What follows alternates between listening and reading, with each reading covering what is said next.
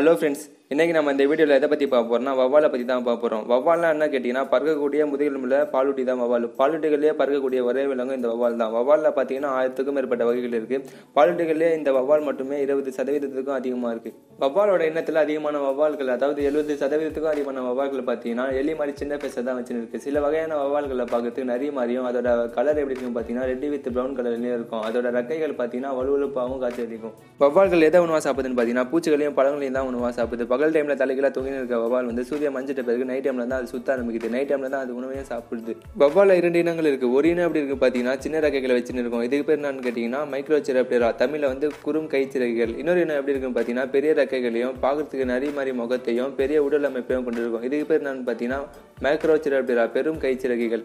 இந்த பெரும் கைச்சிறகிகளோட முகம் பார்க்கறதுக்கு நிறைய மாதிரி இருக்கிறதுனால இது ஆங்கிலத்தில் ஃப்ளையிங் ஃபாக்ஸ்னு கூட சொல்லுவாங்க. ஃப்ளையிங் ஃபாக்ஸ் அதாவது பெரும் கைச்சிறகிகள். இது வந்து அதிகபட்சமாக நாற்பத்தொரு சென்டிமீட்டர் ஹைட் வரைக்கும் வளரக்கூடியது. அதுக்கப்புறம் பார்த்தீங்கன்னா குறும் கைச்சிறுகள் இது வந்து அதிகபட்சமாக மூணு சென்டிமீட்டர் வரைக்கும் தான் வளரக்கூடியது. இதோட இடம் எவ்வளோ இருக்கும் பார்த்தீங்கன்னா ரெண்டு கிராம் வரைக்கும் தான் இதோட இடம் இருக்கும். வவ்வால்கள் பறகுது பார்த்தீங்கன்னா தலைகளாவே பறகுதுன்னு சொல்கிறாங்க தலைகளாவே நாற்பது கிலோமீட்டர் தூரம் வரைக்கும் தொடர்ந்து அதனால் பயணிக்க முடியும்னு சொல்கிறாங்க வவ்வால்கள் பறகுது வந்து எப்படி பறகுதுன்னு பார்த்தீங்கன்னா இந்த ஒலி அலைகள்லாம் சொல்கிறாங்களா அது மூலியமாக தான் பறகுதுன்னு சொல்கிறாங்க அதை நம்ம இந்த வீடியோவில் ஓரலாக பார்த்தா புரியாது. இன்னொரு வீடியோவில் நான் டீட்டெயிலாக சொல்லிடுறேன். வவ்வாலில் பழங்களை சாப்பிட்ற வவ்வால்கள் பார்த்தீங்கன்னா நைட் டைமில் தான் சுத்த போகும். நாற்பத்தெட்டு கிலோமீட்டர் தூரம் வரைக்கும் அதனால் பயணிக்க முடியும்னு சொல்கிறாங்க இது வந்து பழத்தோட சாரம் மட்டும் தான் குடிக்கும். பழத்தோட சக்கையை தூப்பிடும் ஆனால் இந்த வாழைப்பழம் மாதிரி சாப்பிட்டா இருக்க பழங்களை வந்து முழுசாக சாப்பிட்றோம் மலரில் இருக்க தேனையும் குடிக்கும். விவசாயிகளோட பயிர்களையும் சாப்பிடும். இதில் ரொம்ப சாக்காவது என்னன்னு கேட்டிங்கன்னா குறும் கைச்சிறகைகள் மைக்ரோசிராப்டரான ஒரு வவ்வால் வகையை சொன்னல இது வந்து விலங்கோட ரத்தத்தெல்லாம் குட்டிக்கணும்னு சொல்கிறாங்க அது மட்டும் இல்லாமல் மீனையும் இது உணவாக சாப்பிடணும்னு சொல்கிறாங்க இன்னும் இருக்குது அமெரிக்காவில் காட்டேரி வவ்வால்னு சொல்கிற வவ்வால் வந்து ரத்தத்தை குடிக்கும். இது என்ன பார்த்து கேட்டிங்கன்னா அங்கே வாழ்கிற காட்டு விலங்குகள் ஆடு மாடுகள் சில டைமில் மனுஷனோட ரத்தத்தையும் குடிக்கும். ஹாலிவுட்டில் ரிலீஸ் ஆன வேம்பர் படம் வந்து இதை பேஸ் பண்ணி தான் எடுத்தது.